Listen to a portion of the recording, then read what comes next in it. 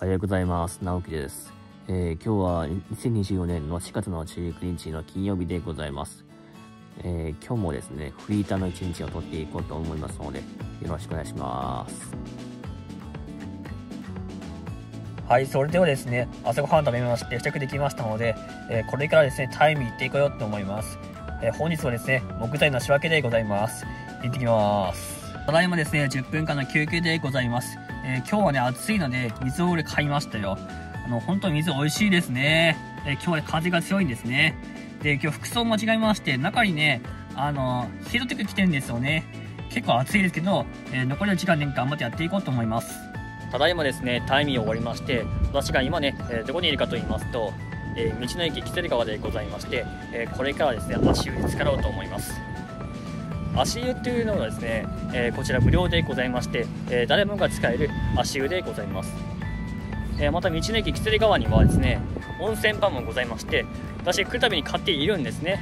温泉パン以外にもですね、いろんなパンをね、あの販売しておりまして、その温泉パンね、買おうかなって思っております。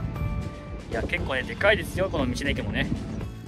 いろんなパンを買ってきましたよ。エビカツパンや温泉パン、焼きそばパンをね、買ってきまして、まあ合計で、まあ2000円ぐらいしましたね。いや、美味しそうですので、これ、お家に帰って食べようと思います。えただいまですね、いろんなパンを買ってきまして、これはお家で帰って食べようと思います。え家族みんなでね。えそしてこちら、足がございますので、足をね、使おうと思います。え無料で使えますからね。こちらのキツル川温泉というのは、日本三大美肌の湯でございまして、泉質は岩硫黄ナトリウム塩化物泉でございます。温まりの湯と言われております。こちらの足湯は無料でございまして、いや誰もが使える足湯でございますね。この足湯で本当に気持ちよくて、私ですね、仕事が終わるたびに今来てるんですよね。いや、本当にね、足の底からね、温まりましたよ。20分使うといいらしいですね、足湯っていうのは。いやー、足湯気持ちよかったですね。10分間で浸かりまして、足がね、温まりましたよ。えさて、温泉パンを買ったので、足湯使ったので、これからお家に帰って、えパンを食べようと思います。いや、道の駅ね、また来ますよ。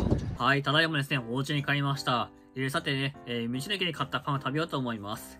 えーまずはですね、私、エビカツパンをね、いただこうと思います。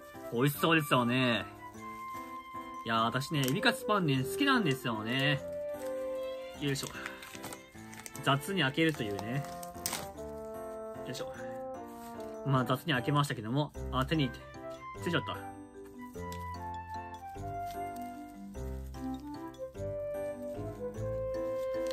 いしょ。では、いただきます。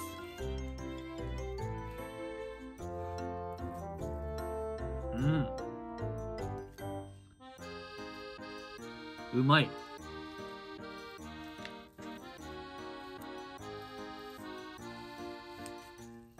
エビ、エビがプリプリっすね。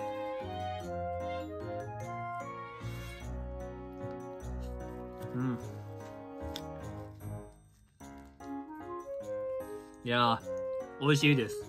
この温泉パンもね、美味しいんですよね。まあ、レーズン味ですけど、えー中にね、レーズンが入っておりまして、これがね、やみつきになるんですよね。いや、ほんと美味しいんですよ。うん。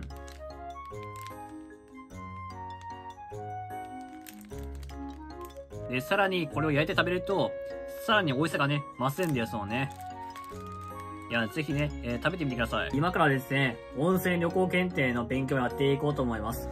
あさってがですね、え検定でありますから、えーなんとかですね、合格できるようにやっていこうと思います。えーそれでは最後までご視聴いただきまして、誠にありがとうございました。さよなら。